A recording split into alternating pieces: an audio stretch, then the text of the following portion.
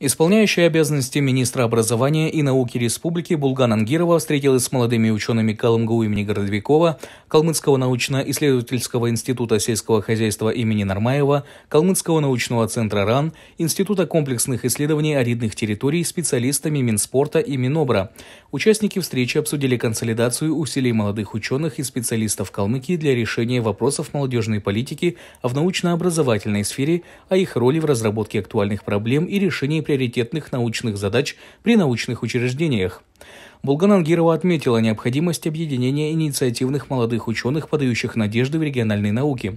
По ее словам, создавая молодежные общественные советы, руководство прежде всего доверяет молодежи право участвовать в принятии решений, что является огромным кредитом доверия.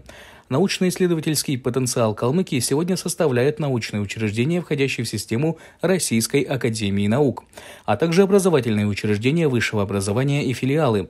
Калмыцкие ученые способствуют прогрессу во всех сферах нашей жизни.